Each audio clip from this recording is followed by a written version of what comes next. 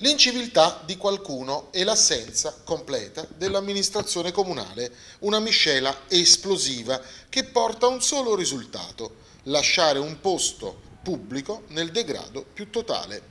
Ufficio reclami arriva stavolta da Pagani. Ancora una volta, aggiungiamo noi, ci ritroviamo infatti a parlare delle fatiscenti condizioni in cui versa la piazzetta di Sant'Anna.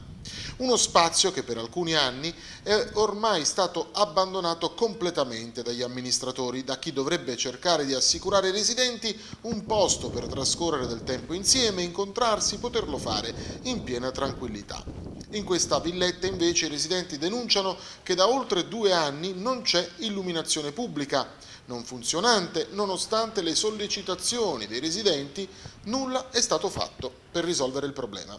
Il passaggio dal buio alla foresta tropicale che si è creata nelle aree verdi è rapidissimo, l'erba non viene tagliata da mesi, alcune piante sono vicine alla morte perché non curate.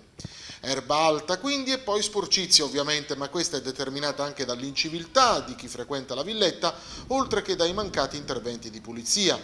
Puliscono solo quando ci sono le feste, hanno dichiarato alcune persone del posto, e qualche piccolo lavoro di pulizia viene fatto di tanto in tanto dai privati e non dal comune.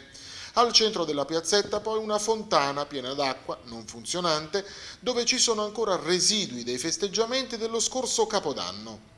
Le panchine non sono sicure, i muretti che delimitano gli spazi della villetta sono rotti in più punti. Meno male che la capannina dove insiste la statua di Sant'Anna non è stata ancora saccheggiata e rovinata del tutto. I residenti però chiedono un intervento immediato.